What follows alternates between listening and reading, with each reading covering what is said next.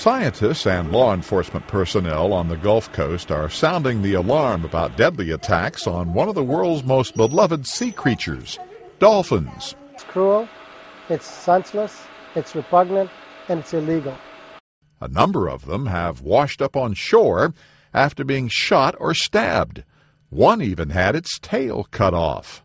A marine mammal biologist with the federal government says two dolphins were found shot in Louisiana last year. Three dolphins were found shot this year, two in Mississippi and one in Louisiana.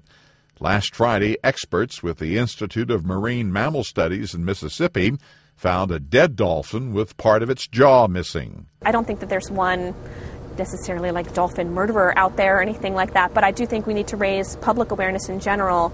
And they're very curious. They come close to the boats. If you're out there, you see them riding the bows. And their curiosity and friendship brings them so close that they become targets. Officials hope to use public awareness to combat the problem. Attacks on dolphins carry large fines and possible prison time. Ross Simpson, The Associated Press.